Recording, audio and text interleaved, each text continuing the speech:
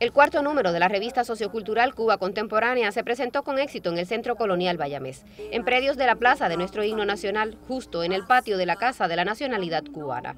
El volumen está dedicado en esta oportunidad al legendario Bayamo en sus 500 cumpleaños y sale al público en el marco del evento Turnat 2013. Editada en colaboración con Casa de las Américas, Cuba Contemporánea tiene como objetivo mostrar al mundo la realidad económica, cultural y social de la mayor de las Antillas. En Gran Maya, Pérez, Sistema informativo de la televisión cubana.